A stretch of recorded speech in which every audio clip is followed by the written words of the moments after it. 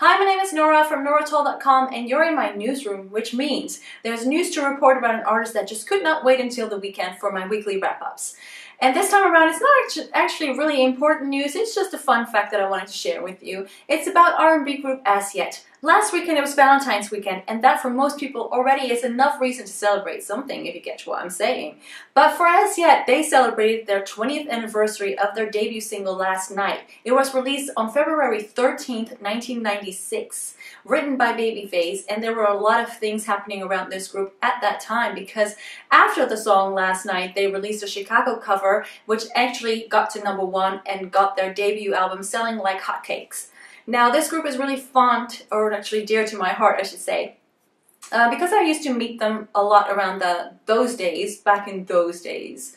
And I kept in touch with most of the members and they are great guys. So I'm very much a supporter. I'm very much on the Az Yet team. And I'm very glad to announce that they're coming back. And on their Facebook page, they've announced that new music is coming soon and the wait will be over really soon. They are returning in, I think, most of the original lineup, but I still am not really sure about who's going to be involved exactly. But it's going to be good. That's all you need to know. Now, if you want to have a reminder of you know, last night and Nutty Professor that was on, on the soundtrack of and you want to see the video and you want to hear some nice little quotes about the song, go to my website and check out the article. You can read all about it.